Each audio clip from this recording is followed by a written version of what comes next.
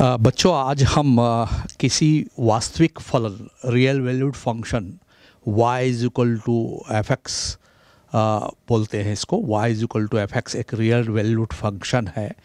इसके डोमेन यानी प्रांत, x के किसी बिंदु पर इस फ़ंक्शन की अवकलनीयता, यानी डिफरेंशियबिलिटी का हम अध्ययन करने जा रहे हैं।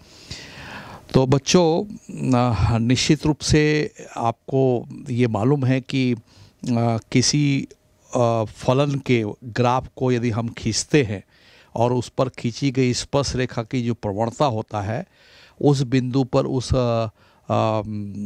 फ़ंक्शन की की, का अवकल गुणांक, डिफरेंशियल कोफिशेंट कहलाता है। कि जैसा कि आप स्क्रीन में देख रहे हैं कि एक वक्र है एक फ़ंक्शन है रियल वैल्यूड फ़ंक्शन है। जैसे कि मैंने बताया, y is equal to F X और निश्चित रूप से हम स्क्रीन पर देख रहे हैं कि इसका एक ग्राफ है, y is equal to F X real valued function का।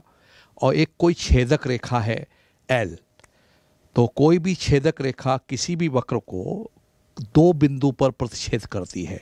आप स्क्रीन पर देख रहे हैं ए और बी पर वो इंटरसेक्ट कर रही है उस वक्र को।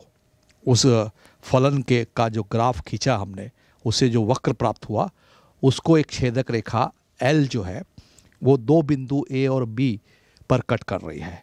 ए के निर्देशांक में एक्स वन और एफ़ ऑफ़ एक्स वन कह रहा हूँ बी बिंदु के निर्देशांक आप स्क्रीन पर देख रहे हैं एक्स एफ़ एक्स है। X is equal to X पर है जैसे कि डी में दिख रहा है X is equal to X और सी पॉइंट पर दिख रहा है आपको X is equal to X one तो अब बच्चों विचार करिए कि ये जो छेदक रेखा है स्पर्श रेखा में कैसे बदलेगी? तो पहले तो हम विचार कर लें कि छेदक रेखा जो ए बी है एल है आ, उसकी प्रवणता क्या होगी? तो एक त्रिभुज आप स्क्रीन पर देख रहे हैं ए बी एम और यदि मैं इस त्रिभुज ए बी एम में टेन थीटा बराबर कहता हूँ तो आपको दिख रहा है स्क्रीन में कि लम बटे आधार होता है। तो लम है बी एम और आधार है ए एम तो बी एम की वैल्यू स्क्रीन पर आप ध्यान से देखें कि बी डी में से हम एम डी को माइनस कर देंगे, यानी बी एम के जगह हम B D minus M D लिख रहे हैं और बटे आधार ए एम के जगह ए एम के बराबर सी डी आपको स्क्रीन पर नज़र आ रहा है। ग्राफ में नज़र आ रहा है। तो बच्चों बी की वैल्यू आप ग्राफ में देखिए ध्यान से एफ़ है।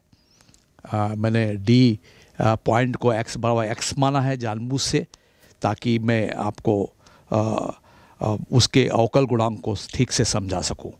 और एम डी की जो वैल्यू होगी वो एफ़ ऑफ़ एक्स वन होगी जो ए सी के इक्वल है एम डी आप ग्राफ में ध्यान से देखिए कि ए सी बराबर एम डी है और ए सी की जो वैल्यू है एफ़ ऑफ़ एक्स वन है।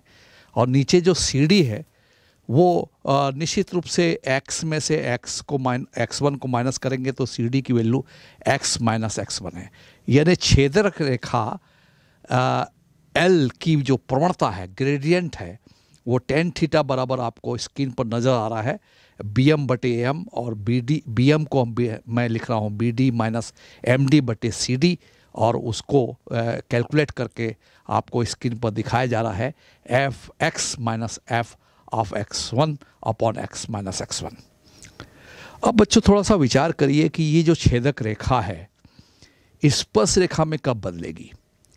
ये स्पर्श रेखा में तभी बदल सकती है जब आ, जब ए बिंदु बी की तरफ़ अग्रसर हो रहा हो तो धीरे धीरे ए और बी एक दूसरे के नज़दीक आते जाएँगे। आप स्क्रीन पर भी देखिए, ए और बी एक दूसरे के नज़दीक आते जाएँगे और वो जब कॉन्साइड हो जाएँगे, एक बिंदु में बदल जाएँगे, यानी ए बिंदु बी बिंदु के कॉन्साइड संपाति हो जाएगा तो वो बिंदु पी हो जाएगा और वह छेदक रेखा एल स्पर्श रेखा में बदल जाएगी। अब इस स्पर्श रेखा की प्रवणता ही आ, उस बिंदु पर आ, वो बिंदु क्या है? पी पॉइंट का जो एक्स कोऑर्डिनेट आपको स्क्रीन पर दिख रहा है एक्स बराबर ए यानी वो ए और बी एक दूसरे के संपाति होकर पी पर कॉन्साइड हो जाएँगे। और वह छेदक रेखा एल स्पर्श रेखा टी में बदल जाएगी जैसा कि आप ग्राफ में देख रहे हैं। इस छेदक रेखा जो स्पर्श रेखा में बदल गई है उसकी प्रवणता ही उस बिंदु पर डिफरेंशियल कोफिशेंट होगा उस फलन का। यानी एफ़ डैश बराबर limit X tending to A F of X one minus F of A upon X minus A ये बिंदु पी पर खींची गई स्पर्श रेखा की प्रवणता को परिभाषित कर रहा है जिसको हम आ, फिर से ध्यान से देख लीजिए। उस स्पर्श रेखा, जो छेदक रेखा है, स्पर्श रेखा में बदल गई है।